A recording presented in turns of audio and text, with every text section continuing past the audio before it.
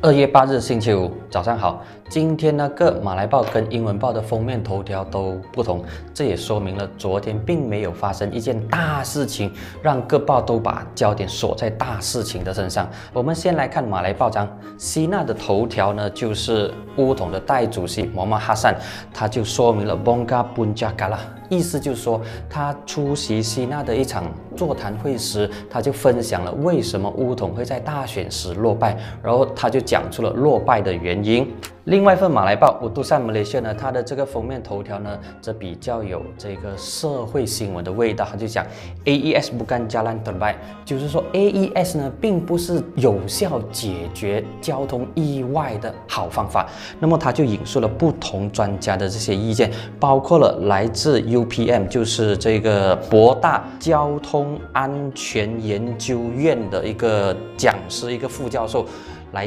解释、来讲解为什么 AES 有它的不足的地方。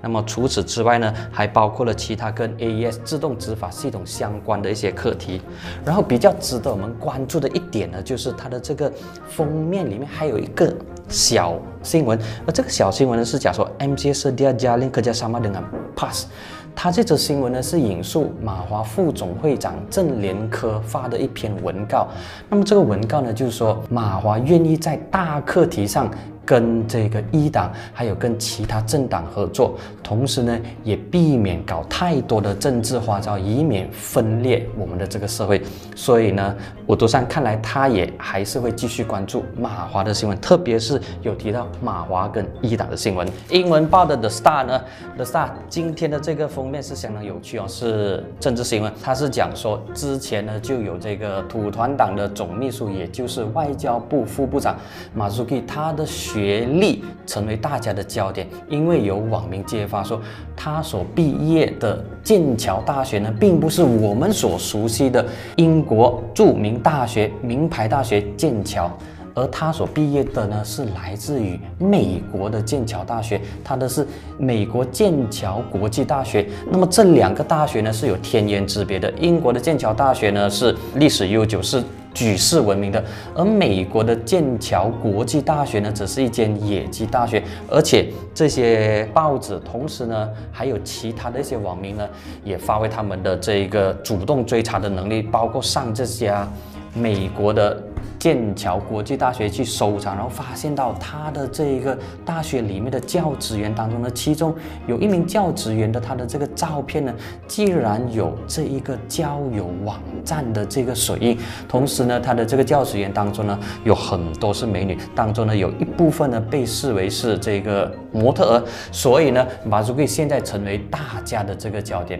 那么土团党的人呢，就出来维护他，说其实选他并不是因为他的。这个大学资格，而是因为其他的这个原因。那么当然，他的这个政敌，包括马华，包括这个乌统呢，都开足火力来炮轰他，说你现在造假的并不是你的学历问题而已哦，还包括了你的诚信。如果你的诚信有问题的话呢，那么你就不适合担任官职，所以你就应该卸下你的外交部副部长的职位。所以呢，这个新闻呢会继续的在燃烧，从二月四号被。踢爆之后呢，来到今年二月八还是在燃烧，所以接下来呢，相信马祖基会是大家的焦点。新海峡时报它的封面呢是一则社会新闻，而这则社会新闻讲的呢是四十七名大马人怀疑受了人蛇集团被骗到柬埔寨的 p o y p a n p o y p a n 是柬埔寨的一个赌很多赌场的地方，也被视为是柬埔寨的拉斯维加斯。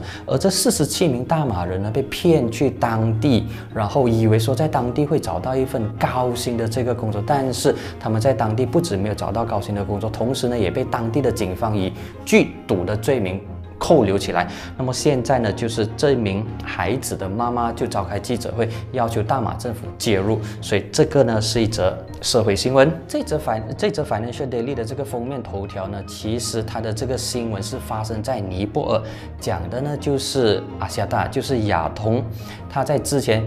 在尼泊尔买了一家叫做 a n s e l 的公司，但是在买公司的这个过程当中呢，就出现缴税的问题，而尼泊尔法庭呢就有了一个裁决，就要求就裁定说这个阿夏大他必须要缴付二十一亿六千万令吉。好，这一则新闻呢，除了会影响到阿西亚大的这个股票之外呢，同时呢，也会对国库控股的这一个啊接下来的部署会有一定程度的这个影响，因为国库控股呢也持有阿西亚大的这个股份。